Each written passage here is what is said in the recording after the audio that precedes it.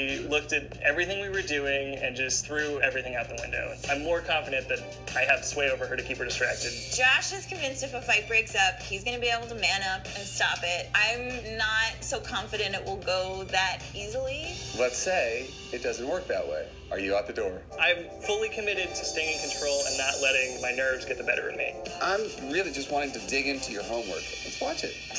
Okay, Sadie's secure. Time to get Jezebel. It's okay, there's no Sadie in here. Look, pretty interesting in here. Somebody's just chill in here, huh? That ain't shabby. See, you're gonna have access to this room all night. Isn't that gonna be exciting? I think, based on what I'm seeing from Jezebel, that she's demonstrating enough confidence to stand up to Sadie. That's fantastic. Um, you know what? I want to go check out your catification. Let's go on over here. This looks fantastic. I really love the fact that Grace and Josh used Square Cat Habitat shelving system for this room because it looks good and it works well. They really showed me that they're serious about this. Look at you. Look at how completely at peace she is. The last time I was here, I saw great progress from Josh. He was redirecting Sadie away from Jezebel.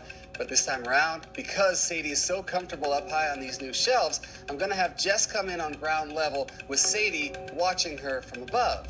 Now that puts both of these cats in the same room without a barrier in between them except for Josh. Now this is high risk, high reward for everybody because if it works, it's a huge breakthrough. And if it doesn't, we are back to square one.